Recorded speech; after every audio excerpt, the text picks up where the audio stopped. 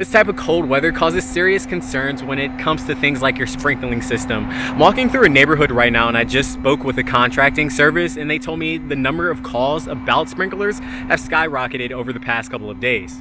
We didn't think of October 10th being, you know, 20 degrees. So, you know, we schedule all our blows all October and, you know, usually it's all right. Now's the time to take caution and blow out your sprinklers before they freeze up. Recent snowstorms forced people like Jeff in Auto Rain Contracting to speed up their normal process, and he says taking a few steps to turn off your irrigation system could save you from frozen pipes.